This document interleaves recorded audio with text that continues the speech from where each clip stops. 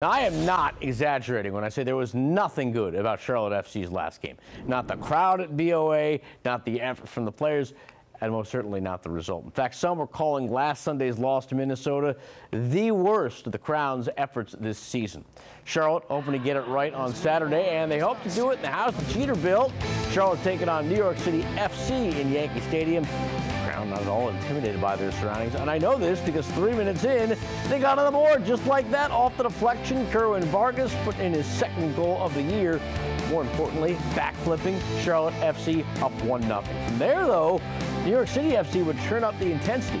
Just before the half, free kick, Keaton Parks with the heads up play, and I mean that in every sense of the word there, used his head. Tied at 1 remained the score until stoppage time of the second half. Three minutes in, ball took a weird bounce in front of the net, and then Alonso Martinez, right place, right time, taking it off the low side.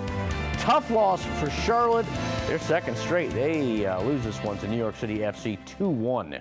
I thought we created problems. And as I say, Kerwin's got in, you know, in the first minute, uh, 1v1 with the goalkeeper.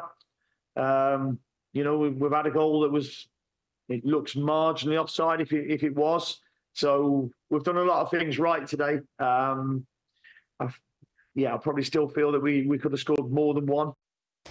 Good news is Charlotte is back at home for their next two matches.